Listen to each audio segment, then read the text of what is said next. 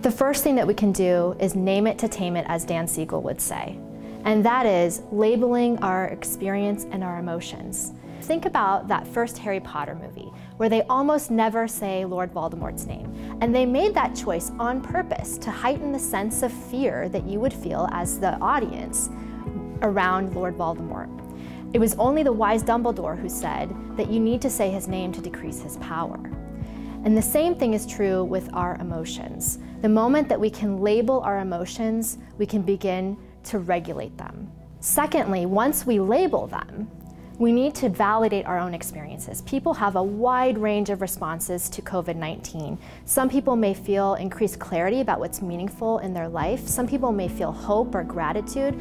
Other people may feel exhaustion, grief, loss, despair. And some people may even notice longer lasting things like increased substance use or things like PTSD. Whatever your experience, acknowledging your experience and saying whatever you're feeling in that moment is understandable, that's a huge first step. And then talking to ourselves as we would a friend. So we often talk to ourselves so much more harshly than we would a friend.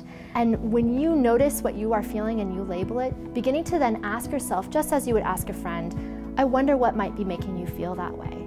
And saying, of course you feel that way. You're living in the midst of a pandemic.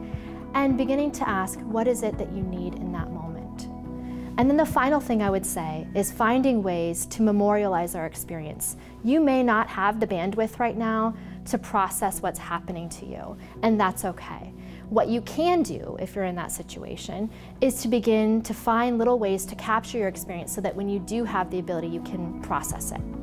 And you can do that in a wide range of ways. Just be creative. So think about snapping a photo here and there to document your experience, or reaching out to a friend and talking to a friend about what's going on, or thinking about ways of just jotting down a brief note to yourself, leaving a voicemail for yourself or on a friend's answering machine, whatever feels best for you, but finding a way to label your experience, acknowledge it, validate it, and document it.